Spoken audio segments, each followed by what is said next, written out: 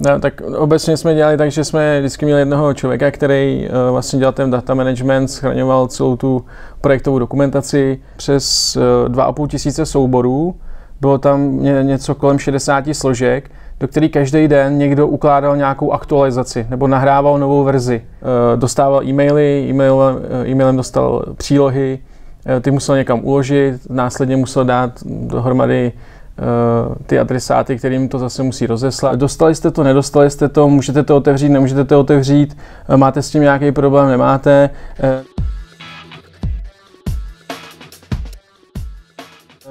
Benefit je i v tom, že to je uživatelsky přívětivý, takže ani, aniž bych toho člověka musel pozvat do toho systému, tak já jsem schopný mu distribuovat tu aktuální verzi. A další věc, když si správně nastavím ty workflow, tak můžu tomu investorovi, který, mu nechci, který ho nechci pouštět úplně do té své práce a vidět všechny, aby viděl všechny ty revize, tak na základě správného nastaveného workflow jsem mu schopen přístupit jenom tu revizi, kterou já chci.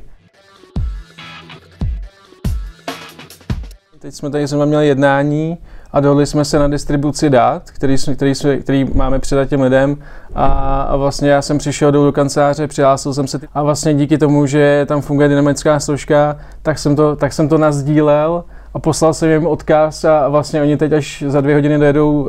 do práce, tak budou mít možnost stáhnout si ty dokumenty a právě přínosem toho for Projectu je, což reálně máme vyzkoušený na projektu, že ten daný člověk, který se zabývá tím data managementem, tak eh, nemusí trávit hodiny toho času schraňováním těch dokumentů, ale můžeme to přenést na toho uživatele. Všechny věci máme na jednom místě